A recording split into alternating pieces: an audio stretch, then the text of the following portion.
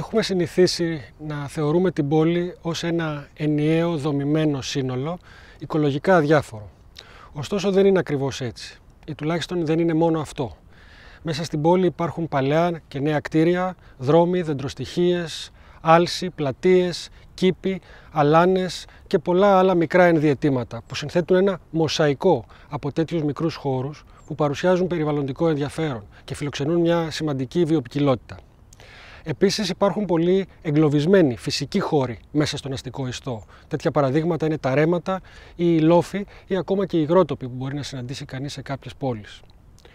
Σε αυτές τις περιοχές συναντούμε κάποια ανθρωπόφιλα είδη, όπως είναι τα σπουργίτια, τα περιστέρια ή όπως είναι και εξωτικά είδη, σαν τους παπαγάλους, τα τρία είδη παπαγάλων που έχουν εμφανιστεί τα τελευταία χρόνια στην Ελλάδα.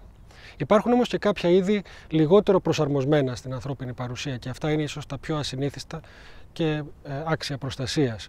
Κάποια σπάνια αγριολούλουδα, κάποια είδη πουλιών ή εντόμων ή άλλων ειδών που απαντώνται κυρίως σε περιοχές ε, φυσικές ή ημιφυσικές, στα όρια του αστικού ιστού ή και εντός αυτού.